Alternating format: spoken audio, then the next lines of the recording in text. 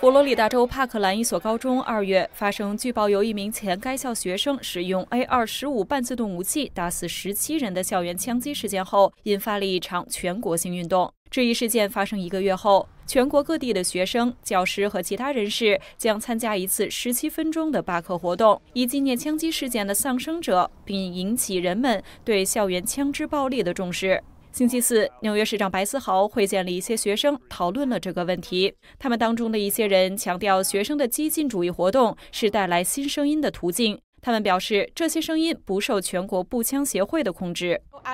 你们知道，当我打开电视，我看到所有这些大规模枪击事件，我知道这些事件本可以被防止，所以我要采取实际行动，担负起领导职责。但是其他人则表示，他们支持负责任的拥枪以及赋予美国人拥枪权利的宪法第二修正案。你永远不知道什么时候就会出现一个拿着武器的人。当一个携带武器的人进来，我们需要有人准备好应战，比如一名佩戴武器的学校安全官员，并准备应对。为了让所有其他学生更安全，有可能甚至击毙那个歹徒。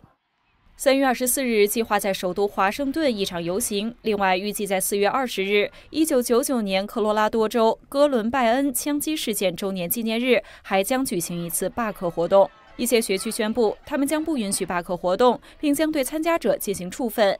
其他人则表示，一些大学学院向学生保证，他们被录取与否不受参加罢课活动的影响。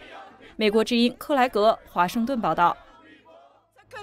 To speak out. To continue to speak out.